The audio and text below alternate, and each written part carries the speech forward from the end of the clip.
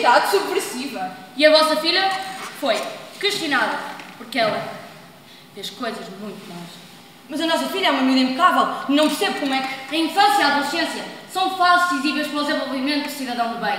Nessas idades, os pequenos têm muitas ideias, muitos ideais, questionam muito. Aliás, questionam demais. É por isso que nós temos de ter rédea curta. Penso que isto tudo foi explicado no curso para determinidade para cidadãos do bem, correto? Claro, claro. Estamos conscientes de tudo isso. Posso ver o certificado do curso. Aqui está, senhora inspetora.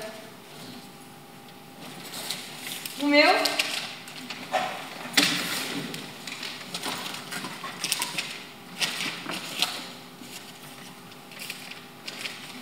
E o do meu marido?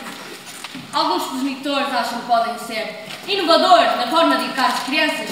Esquecem-se que tudo aquilo que funcionou bem no passado é o melhor que pode servir para o futuro. Tão simples quanto isso. Inovar nunca leva a lado nenhum. Sérgio, podes ver se a documentação está legal. Com certeza. Nós fazemos tudo o que podemos para orientar a Amanda para o bom caminho. Por vezes, o tudo que podemos não é suficiente. E o comportamento da Armanda indica que alguma coisa anda a falhar da vossa parte e nós não descobrimos o que é. Mas o que é que se passa exatamente? O que se passa é que a vossa filha foi vista com uma camisola às riscas azuis e cor-de-rosa. Não é possível! Eu preferia que não fosse possível, mas infelizmente é. Tenho a certeza que era a nossa filha. Temos todos os dados dos nossos cidadãos organizados por ordem alfabética e com fotografias de equipagem. Não há margem para erros. No tempo em que usavam os sistemas informáticos, era tudo uma revalaria. Mas o tempo áureo da pirataria ficou para trás. Mas onde é que a Armanda ia buscar, buscar uma camisola às riscas? Não existe roupa às riscas. E camisolas não se usam desde, sei lá, desde o tempo das nossas avós. Sim, eu nunca vi uma camisola. A informação que tenho é que a vossa filha usou métodos artesanais, ela tricotou a camisola. Tricotou! Tricotou! Logo sabias que a nossa filha andava a tricotar! Que ideia, Estevão? Claro que não sabia, estou a saber agora, como tu. Mas nunca desconfiaram? Nunca encontraram agulhas pela casa? Nada? Um novelo de lã? Qualquer coisa? Não, nunca, claro que não. Esses objetos estão proibidos há mais de 100 anos. Não imaginamos terá encontrado. Sabemos até agora que ela tricotava em segredo na escola. Atrás do pavilhão de ciências, deixava leias agulhas escondidas num escoador de água. Estão a ver? Estão a ver o que é que temos firmes com os jovens? As próprias escolas a tornar-se um antro de vício. Vocês não imaginam. Eu ponho histórias daqui de jovens completamente perdidos. Um dia começam a fazer crochê só com uma agulha, a fazer objetos pequenininhos, bolsinha para os lápis, coisas assim. No início é porque é relaxante ou para imitar um colega, mas quando dão por eles, estão a tricotar com duas agulhas. Às vezes cascóis, cascóis longos passam horas naquilo. E uma camisola já é uma peça muito complexa. Depois de tricotar uma camisola vai ser muito difícil para a Armanda deixar este hábito. O tricô é um vício que se entranha até à medula, até à, até medula, não foi para casa que foi banido. Não nos diga isso, doutora. Coragem, Lourdes! Tens que ter coragem! Vamos conseguir dar a volta! Eu não vos quero assustar, mas ou vocês começam a mostrar mais autoridade, ou a vossa filha é uma cidadã perdida. Tem de manter sua vigilância apertada, é o vosso dever. Faremos tudo o que pudermos. Isto é um caso particularmente complicado. Envolve criação artesanal de roupas, porte traje proibido, abuso de criatividade e uso de cores inapropriadas por uma jovem do sexo feminino. Conto com o vosso empenho em reconduzir esta jovem para o caminho do bem. Caso contrário, ela será condenada. Não, minha menina, não. Será condenada a ser apontada a dedo na rua. Não, não façam isso à nossa menina, não façam. Mas, senhora inspetora, não é uma pena demasiado dura para uma adolescente? É pena prevista para todos os cidadãos que fogem à norma. Não posso fazer nada. Neste momento, tudo depende de vocês. Agora, como o caso envolve porte-trás proibido, sim senhora, porte-trás proibido e uso de coisas inapropriadas para uma jovem de sexo feminino, tenho que fazer os fios com som de papéis. Sei que a questão é delicada, mas o dever obriga-me a perguntar se em casa há partilha de tarefas. Como assim? Não, nunca! Tenho a certeza. Claro, quem é que acha que somos? Nós levamos muito a sério as regras sociais. Somos pessoas de bem. Numa casa, as tarefas não se partilham, dividem-se. Ao homem o que é do homem e à mulher o que é da mulher. Muito bem, muito bem. Quantos são lá em casa? Eh, Somos cinco. Pai, mãe e três filhos, correto? Correto. A Armanda é filha de meio, a única rapariga. Estou a ver, estou a ver. A Armanda tem 15 anos. Exato. E como definiriam a vossa filha? A Armanda é uma miúda normal, inteligente, boa aluna. Quer dizer, não tem notas excelentes, mas quando se esforça até consegue. Só que pronto, só se esforça para as disciplinas que mais gosta. Tem amigos? Sim, tem um grupo de amigos. E como definiria esse grupo de amigos? Não sei bem, são como ela.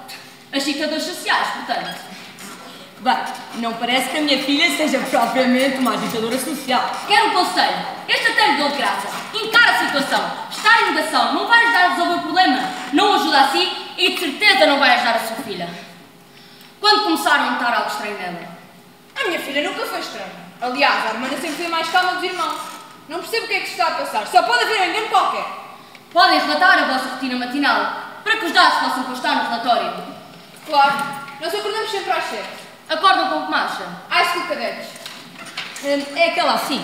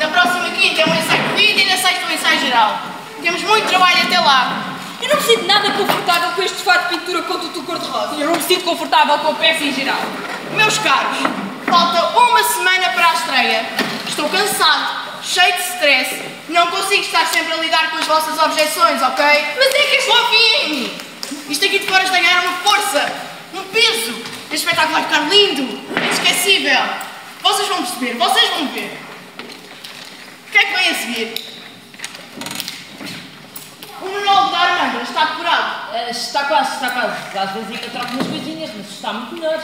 Aproveita melhor o tempo que passas aqui. Pede algum colega que te ajude a bater texto. Meus caros, isto é trabalho. Tudo isto é tempo de trabalho. Se não estão a ensaiar uma cena, não é para ficarem no TikTok. Aproveitem o tempo e vão lá para trás bater texto. Esta hora já deviam ter tudo na ponta da língua. Agora vamos àquela cena da comissão de festas. Onde está o escadote? Rápido, o escadote! Já deviam ter entrado com o escadote. Quero atenção, quero ritmo. O escadote na esquerda alta. Onde vocês sobem, vai colocando as grinaldas. Quem sobe? Temos de pensar como vamos prender estas grinaldas. Um jornalista e a presidente de comissão de festas do Centenário das Roupinhas aqui para a frente.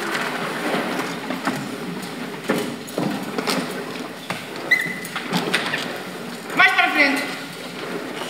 Isso mesmo.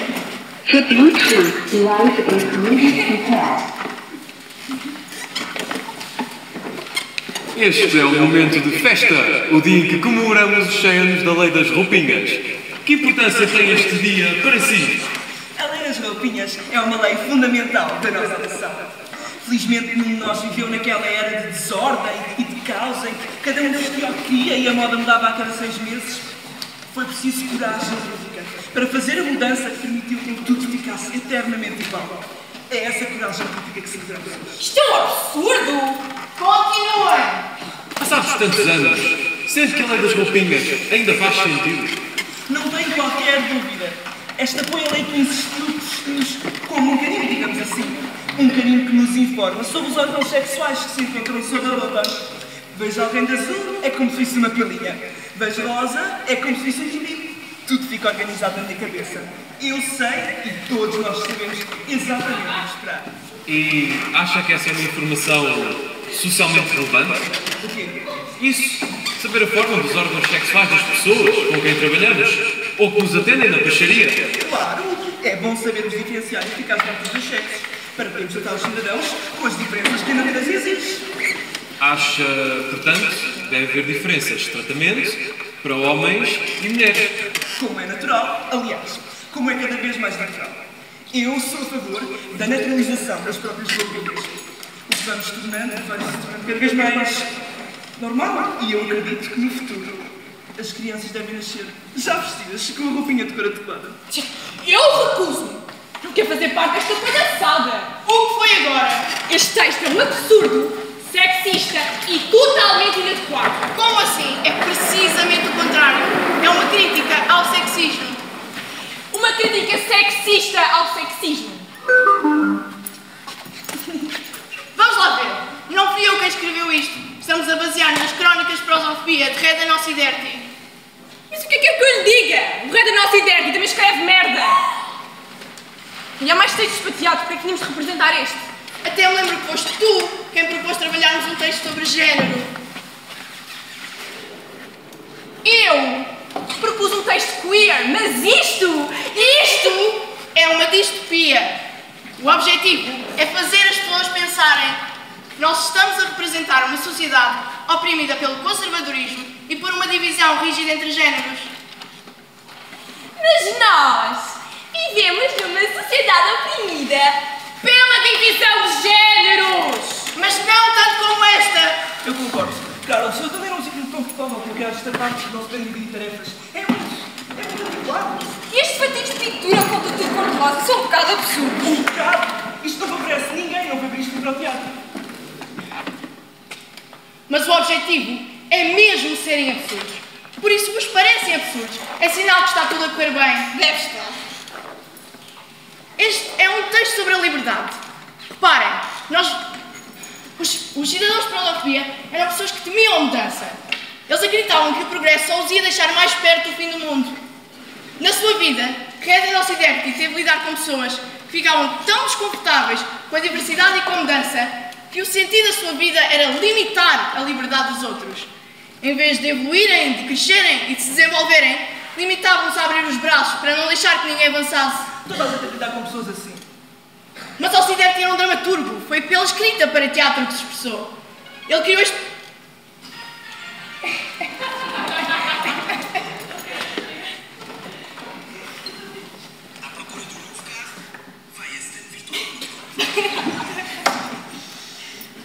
Ele criou este mundo, prosofobia, onde estas pessoas podem reinar, onde podem viver em paz. Muito. De certa forma, sim. Ocidente imagina este país que para ele seria um inferno opressivo, mas onde estas pessoas poderiam viver felizes. Mas isto é também uma forma de se livrar delas, de as prender num reino de fantasia, deixando o mundo real para os que não temem o futuro e a diversidade. Mas as pessoas nem parecem felizes em prosofobia. Nem sei se alguém é realmente feliz. Há uma certa tensão. Sabemos que três pessoas estão muito infelizes.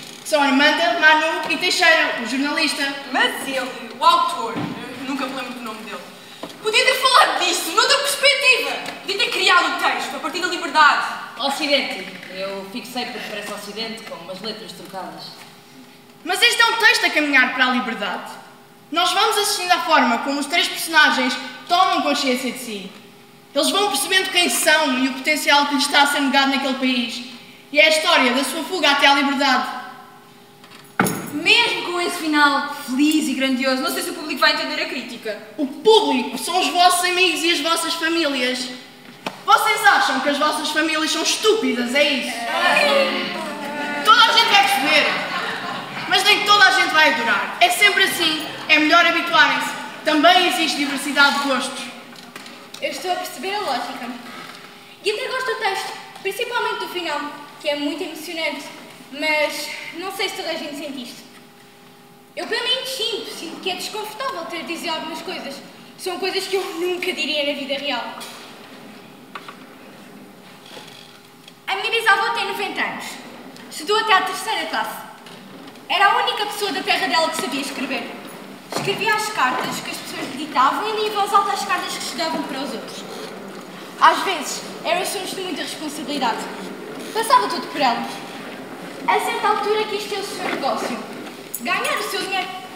E não pôde. Apesar de ser a pessoa com mais conhecimentos da aldeia, não pôde porque era mulher. Naquele tempo era preciso autorização do marido e o meu bisavô não autorizou.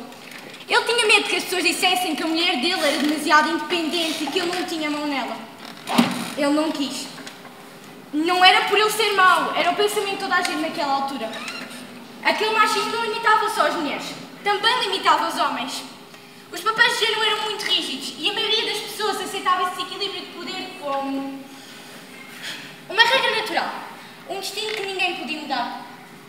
Ela está viva aos 90, mas as amigas dela morreram sem ver grandes mudanças. O meu bisavô também não podia votar.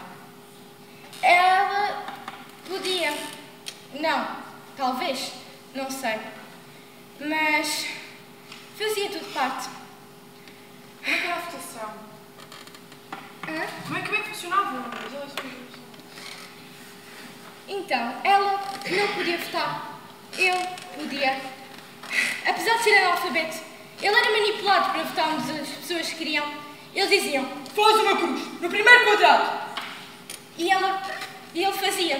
Nem percebia o que isso significava.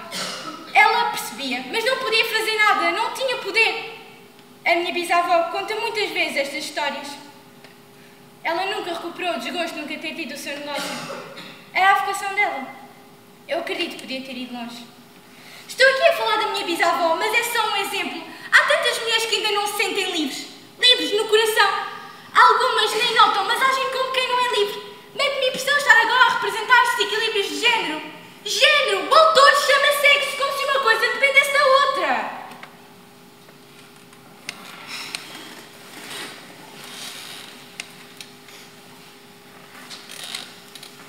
Ser ator passa muito por dizer palavras de outros.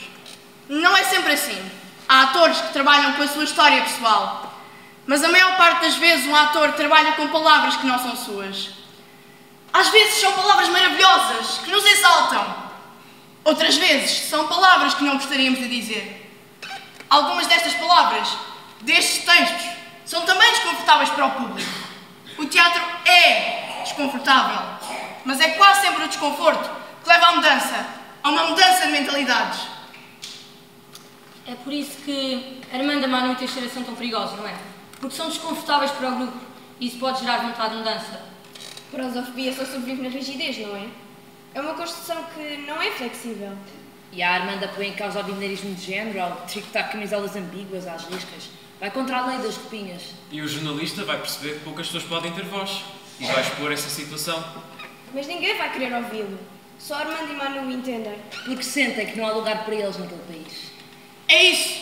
Eu acho super importante que vocês levantem estas questões, que este processo vos estimule um pensamento crítico.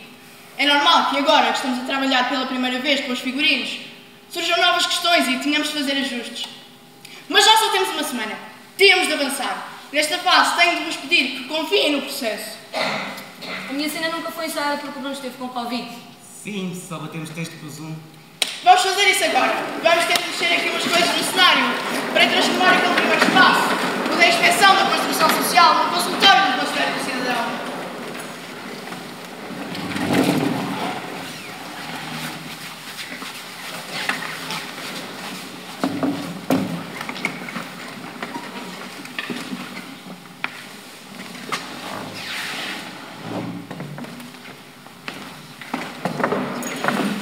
Podemos começar?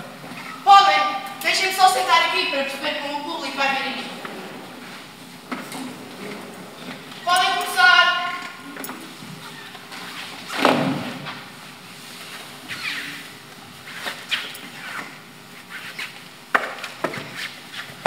Não.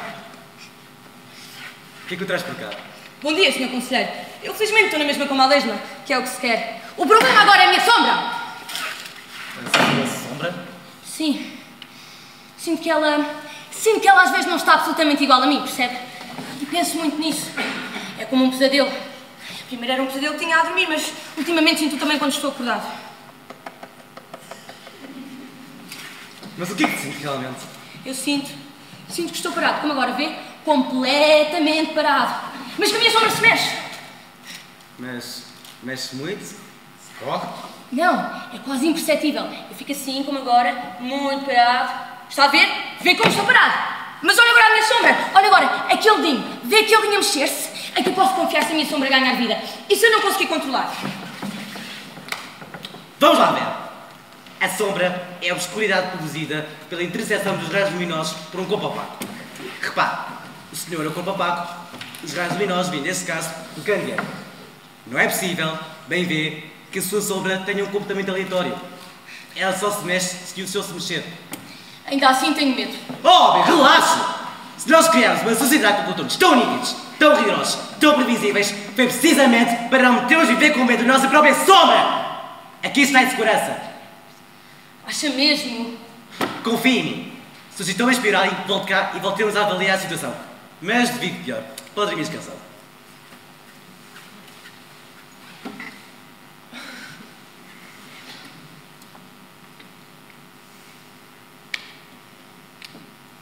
Próximo. Senhor Conselheiro, posso? Claro, como está? Senhor Conselheiro, eu sinto. Sinto. que Não me sinto uma rapariga. E o que é que devia sentir uma rapariga? Não sei. E é- por isso que me sinto tão estranha. Se soubesse o que deve sentir uma rapariga, talvez me sentisse uma. Mas o que é que interessa ao que se sente? Interessa mais o que se é. E como pode ser uma coisa que não sinto? Faria mais sentido sentir-se uma coisa que não é? E, e- e o que é que eu sou? Então, é o que os meus olhos dizem que é. E eu vejo, evidentemente, uma rapariga e aquelas bem bonitas. Quanto mais bonita, mais me dói. O que dói são as feridas. Tens alguma ferida para mostrar? Feridas visíveis não tenho, ainda assim. O meu corpo não se parece com o corpo meu. Se não tem, se não tem feridas visíveis, não tem nada. Foque-se no que os cinco sentidos podem mostrar. Se não vê, não ouve, não toca, não sabe, não cheira, não existe. Mas há tantas coisas que sabemos e que nos escapam aos sentidos. Posso, Irina? Aconselho-a a deixar-se separados e não darem a repetir como disse.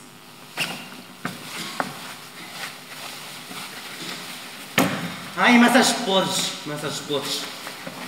É preciso destruí-las. Estes que estão toda a foda da taça. Para a primeira vez não está nada mal. Vamos ter de repetir esta parte mais algumas vezes, mas sinto que não será um problema. Temos é de pensar que vamos transformar escritório atrás de escritório. É que ainda há a cena do diretor de jornal, que também se passa no escritório.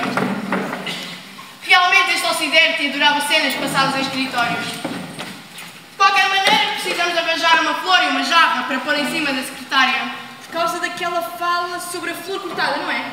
Sim, a cena começa mesmo contigo a dizer isso. Não faz sentido sem jarra e sem flor.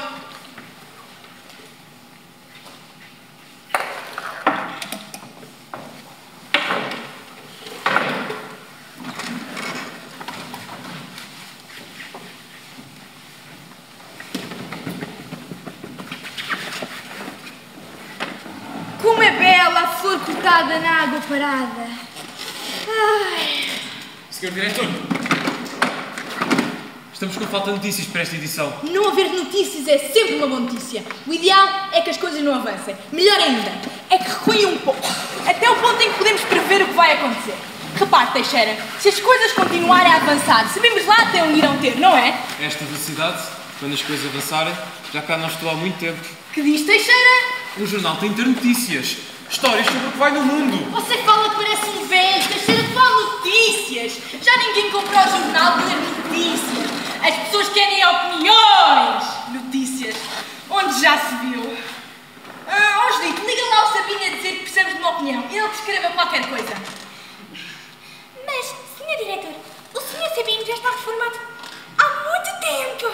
Bem sei, mas tens aqui o número do ano onde ele está. Fala com ele, está por lá farto de jogar à bem. Aquilo que opinião qualquer para ver se anima.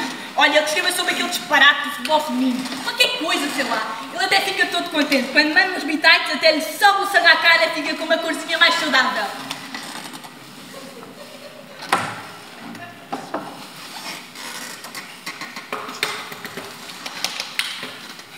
Oh, Judite! Judite!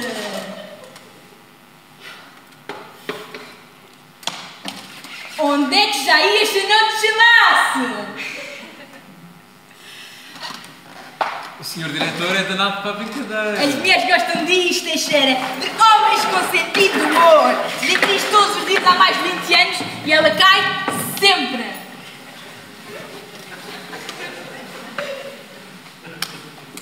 Agora diga-me cá, Teixeira, tenho aqui um projeto inovador que gostava que fosse o Teixeira a. Ainda há muita informação aí espalhada pelos reis da internet.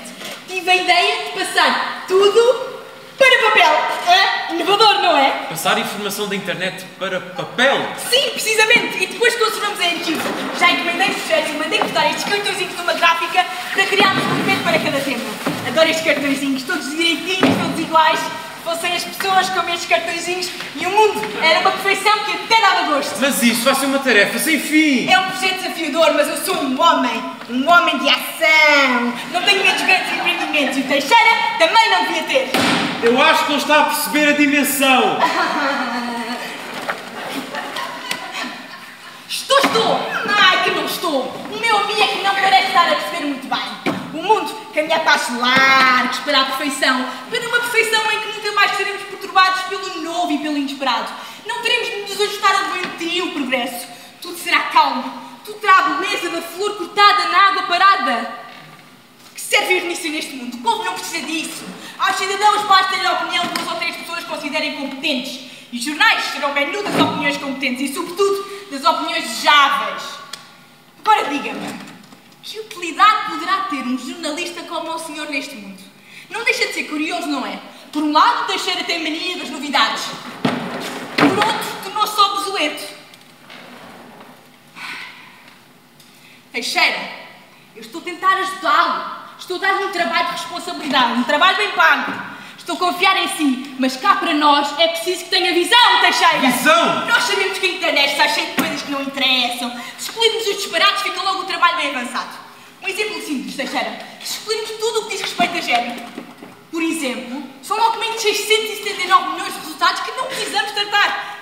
Só em português. Mas nós tiramos também espanhol, francês, alemão, inglês. Agora é fazer as contas. O método é simples. Vamos vaziando a internet, vamos despejando na reciclagem tudo o que não interessa e vai ver, Teixeira, que o que sobra vai caber num ficheirinho tudo arrumado por ordem alfabética.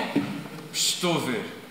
E vou trabalhar nisso sozinho? Claro que não! Teixeira vai ter uma vasta equipa de profissionais. Estamos a dar formação a esta gente toda.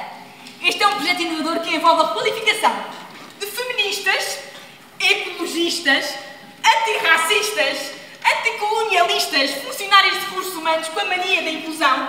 Essa gentinha toda que estava perdida e que tem a sorte de encontrar aqui uma segunda oportunidade. Não os deixe aqui parados à sua espera. Vá! É melhor começarem daquilo gravado quanto mais depressa começarem, mais depressa acabam.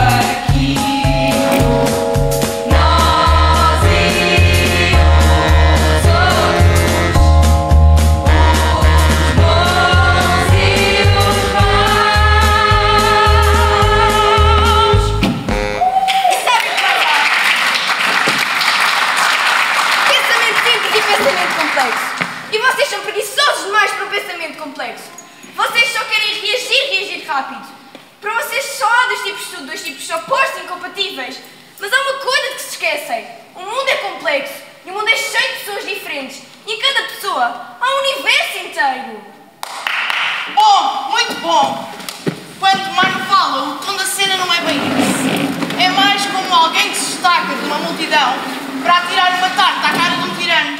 É um gesto subversivo, revolucionário. Imagina, está um ditador a passar, toda a gente a assistir e a assinar lenços brancos, e de repente salta alguém da multidão para lhe espetar para lhe espetar na cara uma tarde cheia de chantilly. Ok, estou a perceber. Se alguém me tirasse com a tarde cheia de chantilly à cara, ele lambia-me todo.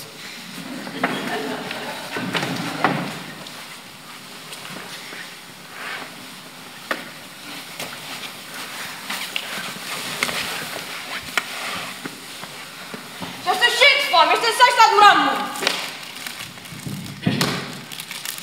Vocês hoje estão a fazer-me pensar em coisas. Em muitas coisas diferentes. Eu tinha a vossa idade quando fiz teatro pela primeira vez. A maioria das pessoas que eu fiz teatro eram raparigas. A encenadora também era uma mulher. Acabei por fazer sempre papéis masculinos, apesar de não ser o que me interessava mais.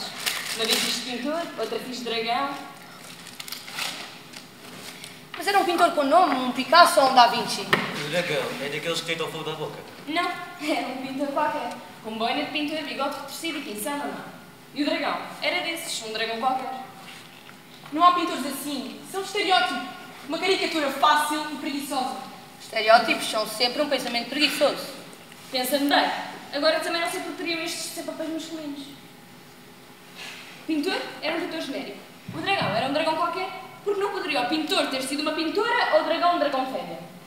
Uma pintora, em vez de um pintor, faz-nos logo pensar que há algo mais a dizer sobre aquele personagem, que não é só um pintor. Um dragão fêmea faz-nos pensar que a certa altura vão surgir as crias. Um dragão fêmea já é uma exceção. É um dragão, como todos os dragões, mas fêmea. Há um mas. Há um mas para metade da população dos dragões, então é um grande mas. Adorava ver um dragão fêmea raptar um príncipe. Eu adorava ver o dragão fêmea a raptar uma princesa. Eu adorava ver a princesa a raptar a dragão fêmea. A questão É que pensamos em tudo o que é generalista ou neutro como masculino. O feminino é como com uma exceção, já repararam? E estou a pensar nisso agora, aqui convosco. Na altura, não pensei. E a ensinadora, que era mais velha era uma mulher, também não pensou. Achou mais indicado que uma rapariga tivesse de usar um bigode falso. E agora aqui o ensinador desta peça, com uma peça dentro, Sandré de Sedei, fez o mesmo. Há um ensinador para representar, que seja um homem. Por que de ser Carlos? Não podia ser Carla?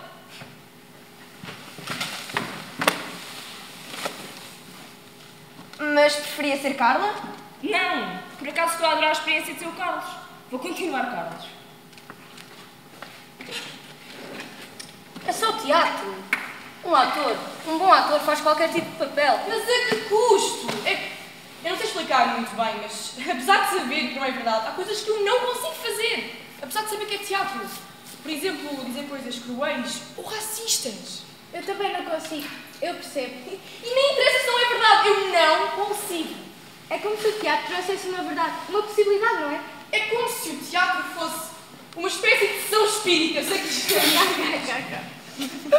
Não se riam, deixa-me explicar. Como se o teatro fosse uma sessão espírita e estivéssemos aqui no escuro a chamar coisas. Nós não queremos chamar tudo, não queremos chamar espíritos maus. E é só uma brincadeira, é fingir. Mas. Eu eu não sei explicar, pronto. E o que chamamos torna-se real, não é? É como aquela coisa. Eu agora sinto que tem algo a ver. Já não sei quem disse, mas alguém disse aqui no outro dia. As pedras podem partir nos ossos, mas as palavras não me atingem. Eu não concordo. Eu acho que as palavras nos atingem e magoam muito. Às vezes, mais que as pedras. Eu, às vezes, ouço coisas em casa que. Não quero contar, não. Não quero muito falar disso agora, mas às vezes fico muitos dias a pensar nas coisas que me dizem e no tom em que me as dizem. E às vezes nem são coisas dirigidas diretamente a mim. As pedras magoam quando nos acertam, mas as palavras, largadas no ar, por gente que nem nos conhece, acertam sempre de alguma forma, mesmo que chegue muito tempo depois.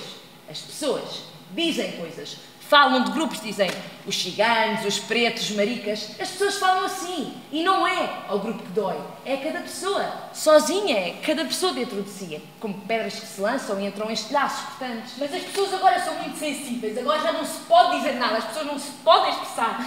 Mas eu acho que as pessoas podem expressar. Toda a gente deve poder expressar o que vai na alma. Não é disso que falo. As pessoas a que me refiro nunca dizem coisas como "Uh, as pessoas trans incomodam-me porque me fazem sentir isto e aquilo. Não. Se reparares bem, elas nunca falam daquilo que sentem. Nunca se exprimem realmente. Elas dizem aquelas pessoas não deveriam existir porque são nojentas, não são naturais. Ponto final. É uma expressão sem consciência. As pessoas nem procuram ter consciência daquilo que sentem, daquilo que de si é tão forte que provoca aquela reação violenta contra o outro. É a liberdade de expressão. Manel, porquê é que estás a falar como se fosse do Chega? Tu sabes o que é que estamos a dizer. Estou a fazer de advogado diabo. O diabo não precisa de mais advogados. O diabo encheu o tribunal com todos os seus advogados. É precisamente essa a questão. Jovens! A nossa hora está a acabar. Eu entendo que essa discussão é muito interessante, mas não é prioritária. Estaríamos para a semana e até agora nunca fizemos um ensaio que tenha chegado até ao fim. Aliás, ainda não temos fim. Temos fim, está aqui no texto. Esse final já não serve. Tenho andado a pensar e quero experimentar um final alternativo convosco. Ainda temos 10 minutos.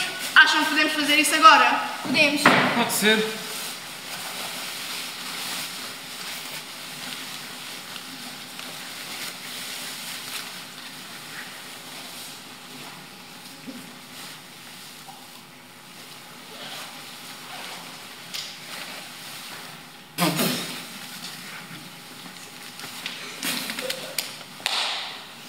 Os três fugitivos, onde estão?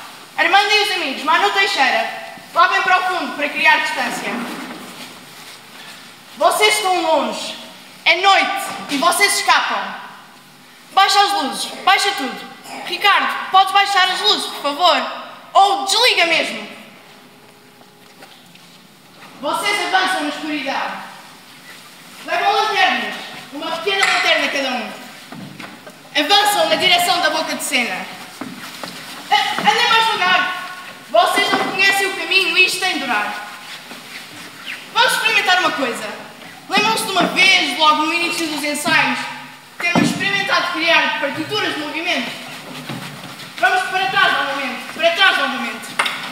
Temos de começar de outra maneira. Concentrados, por favor. Vocês vão ouvir com atenção e vão criar a partitura. Vocês estão a arriscar algo que ninguém arriscaria. É uma fuga difícil, um caminho perigoso. Vocês têm medo. Se não tivessem também esperança, nem tentavam. Não há uma estrada, não há um caminho limpinho. Vocês vão ter de abrir o vosso próprio caminho. Vão ter de afastar os ramos das árvores, baixar-se para passar por baixo de um obstáculo, ajudar-se mutuamente. Ei! Não és a Lara Croft. Tu sentes os picos das silvas. Lembrem-se que nós só vemos o que a lanterna nos mostra. Usem a luz de forma consciente. Excelente! Vamos fazer isto assim. Só assim. Com base na partitura de movimento. No escuro, só com as lanternas. Já não vamos ter tempo de criar cenários, por isso será a riqueza do vosso movimento que nos vai mostrar aquilo que vos cerca. Interajam uns com os outros. Ajudem o outro a avançar. Estão nisto juntos. São uma equipa. Agora, quero os outros todos em fila no fundo. Vocês todos. Quero uma fila horizontal lá no fundo. Vocês são os cidadãos de prosofia e perseguem os fugitivos. Vocês são implacáveis. Não se movem como eles, que ainda estão a abrir caminhos. Não. Vocês movem-se de forma mais organizada, quase militar. Vocês seguem regras rígidas e confiam nessas regras. São as regras que vos dão confiança. As regras estão do lado de fora, por isso parecem infalíveis. O que só se sente a partir de dentro é frágil, é demasiado humano. Mas nas regras que vos são impostas, vocês confiam.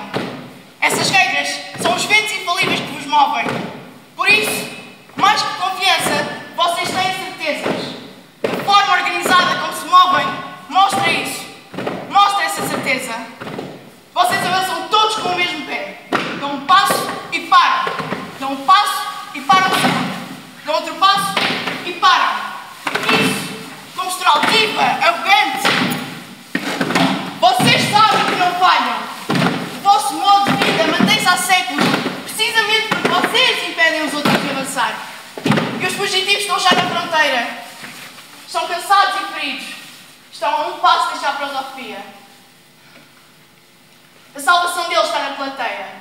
A plateia está tão próxima que o público já não é uma massa indistinta. Aqui à frente já se conseguem distinguir os indivíduos, os rostos, um a um.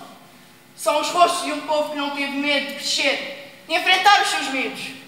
É um povo de pessoas que aprendeu a escutar o outro, a ter espaço para o que é diferente de si.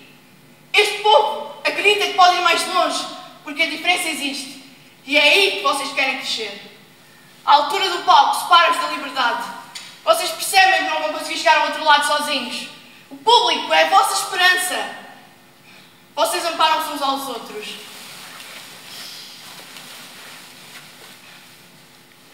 Mas os que perseguem não param. Vão avançando sempre.